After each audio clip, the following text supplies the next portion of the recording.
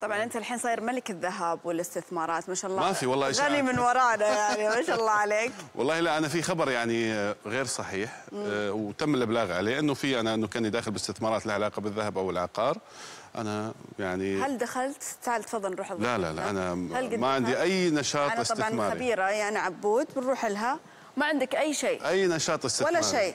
قاعد تصرف بس ها ب... لا يعني هم قاعد يستغلون يعني صورتي والاسم والنجومية اللي أنا آه okay صباح الخير. مبهورين فيك هاني أهلا أهلا يسعد؟ صباحك كيف حالك؟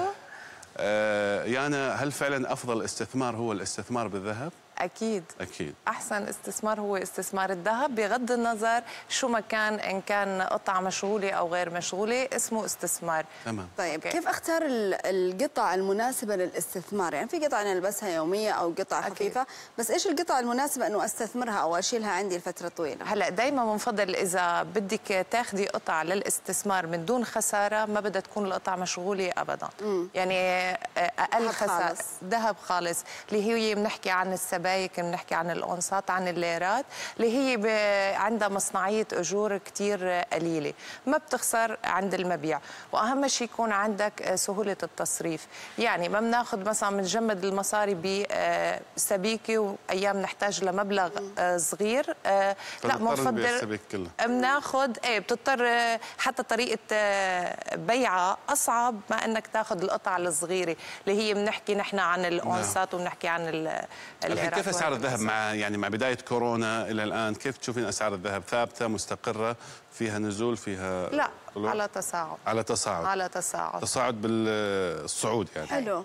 آه أنا مرة رحت محل كنت أبغى أشتري آه سوارة. أوكي. فكنت أبغى أشتري ذهب أبيض. قالوا لي إنه هو أغلى من الذهب الأصفر. لا الذهب ذهب سواء أصفر ولا أبيض. هي اللي بتختلف هي نسبة المعادن المضافة للذهب بس اجمالا الذهب هو الأصفر. يعني هم أعطوني معلومة غلط إنه الذهب الأبيض يكون مرتفع سعره لما يكون مشغول لا لا ما بيصير يكون مرتفع سعره لأنه أساسا الجزء الثابت هو الذهب الأصفر اللي مثلا بنعتبر 18 وال من ال 24 والست أجزاء هن البقايا هي المعادن المضافة اللي هي بتميز الذهب الأصفر عن الذهب الأبيض. طيب بس اجمالا سعر الذهب هو طيب انت إيش جايبة معاك اليوم تقولي لنا إيش ينفع للاستثمار أو إيش اللي ما ينفع مثلا؟ اللي حكينا عنه إنه أهم شيء يكون ناخذ القطع اللي آه، ما فيها شغل كتير وما فيها آه، احجار كتير قوية. هذا ليش يأثر على سعر هالشغل الكثير والاحجار؟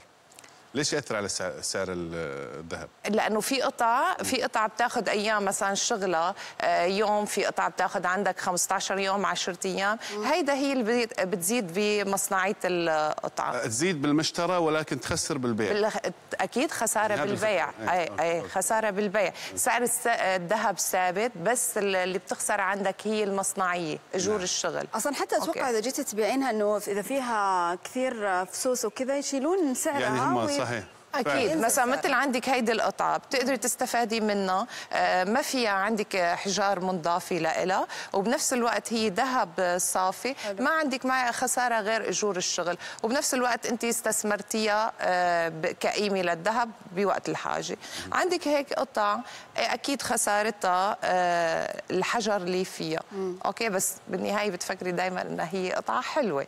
okay قد ما بيكون في خسارة بالنهاية عندك استثمار آه، بالقطعه الالماس اللي ينضاف للقطع هو يخسر يعني في ال... هلا إذا في حال كان ألماس لا ما كثير خسارته مثل الزيركون الحجار اللي ما عليها قيمة الحجار العادية. نعم. بس الماس قيمته فيه أكيد. okay؟ فعنا هدول القطع آه، عليهم شغل منيح ب- رح تخسر فيهم إذا كان في حال آه، منه ألماس. okay. إيه، في عنا هدول القطع كمان آه، في عندك خسارة الحجر الكبير وحجر ال- اللي حوالين ال- القطعة. في عندك هيك قطعة بنفس الوقت انت استفدتي فيها كموديل حلو okay؟ وبنفس الوقت كله آه، ذهب صافي. حلو. ما عندك خسارة غير مصنعية القطعة. طيب بعض الأحيان نروح ال brand وندفع يعني إنه كثير ويقولوا لك ذهب وألماس وما أدري إيش بس لما تجين تبيعينها تخسرين فيها، هل أنت تنصحين إنه مثلا هذه القطعة اللي نشتريها بألافات إنه تكون إنه استثمار لو اشتريناها من السوق العادي؟ هلا هي إذا انت خلص اتجاهك كل اتجاهك brand بدك تدفعي brand okay؟ لا بس ما يعتبر استثمار. لا لا يعتبر إذا بدك تاخذيه كاستثمار بدك تاخذي بعيارات ال 21 وال 24 اللي حكينا هن سبائك. بس إذا بدك تاخذي إنه بدنا ناخذ قطعة لأنه brand خلص انت حابة القطعة بدك تشتريها بغض النظر بدون فائدة. إيه ما انسي موضوع الخسارة نهائيا ما تفكري فيها طيب إيش الفرق بين يعني عيار 14 أو 18 أو 24 يعني أنا طول عمري أحس إنه 24 أحسن شيء لأنه أتذكر أمي لما نجي نشتري ذهب تقول 24 إنه okay. أبغاه يعني. آه، هي نسبة أجزاء. الذهب ذهب okay؟ في حال أخذتي 14 هون عندك مصنعية زيادة. هلأ كثير عم بيروجوا على بس هل في 14 هذا احس إنه جديد ولا؟ إيه جديد. هلأ إيش؟ لأنه في ناس بتحب إنه بدها تاخذ قطعة ضخمة كبيرة وبنفس الوقت ما تدفع سعر عالي. بس آه، بنفس الوقت انت عم تخسري مصنعية الأجور دبل عن ال 18 دائما نحن بنفضل ال 18 وال 21 لأنه لسهولة البيع ل آه، اجور قليلة وأكيد اجور ال 18 هي أكثر من ال 21 نعم. آه، كيف برأيك إنه الناس تتأكد إنه الذهب هذا يعني حقيقي ومش مغشوش؟ يعني تروح مثلا أي سوق ذهب تلقى أول, انه أول شيء بدها تفك تنتبه على الختم القطعة. الختم؟ الختم هو أهم شيء نعم. والضمان اللي بيقدمه للمحل المحل اللي إحنا- هيدا أهم شيء الضمان.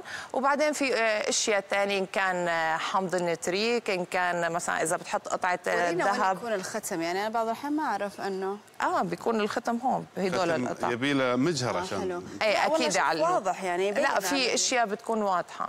إيه. في بعض الاختام بتكون واضحة. وهذا ما ينغش عادة. لا ينغش. إذا اعطاكي بطاقة ضمان خلص ما راح ينغش. بس أنا أتذكر يعني نروح سوق الذهب ونشتري ذهب بس ما في بطاقة ضمان إنه فاتورة، الفاتورة فاتورة. هي الأهم أهم شيء الفاتورة أهم شيء طيب إحنا نشكرك شكرا الجزيل. ويعطيك ألف عافية. وإن شاء الله تجمعنا فيك آه، لقاء. إحنا راح نفرفر بالسوق ونرجع. هذه ثانية. هذه الجملة كنت دائما أسمعها لما نروح سوق الذهب خاصة. تشوف أمي هنا وهنا وهنا بعدين تقول بروح آخذ لفة وأرجع لكم. هذه برأيك تصريف أو لا تكاسرهم. إذا ما وافقوا إنه ما وافقوا يعطونها السعر تقول أنا ماشية فتطلع لين عند الباب يا إنه يرجعونها يا انه تعال بآخر لحظة. تعالي إنه بآخر طيب لحظة. إحنا نقول للجميع نتمنى لهم استثمار ناجح إن شاء الله.